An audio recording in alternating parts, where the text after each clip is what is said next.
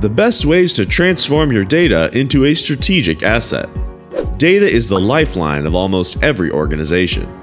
For a successful digital transformation journey, businesses must rely on the gathering and analysis of data to archive desired objects and gain strategic advantages over competition. The writing is on the wall.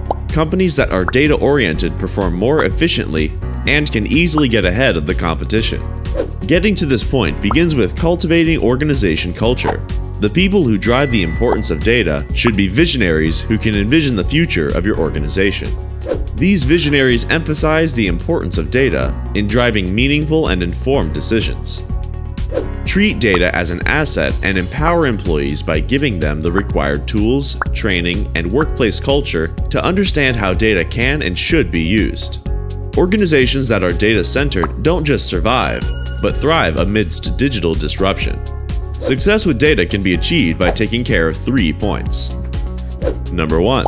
Undergo a complete digital transformation to make your enterprise data centric. According to an IDC report, over 85% of enterprise IT organizations will be committed to a multi cloud architecture.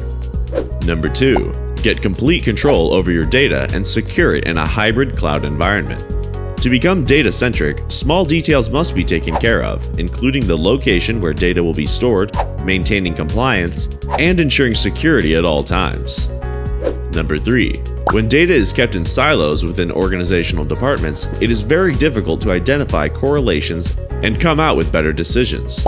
When data is centralized, you can easily harness the power of this data and help in the growth of your organization.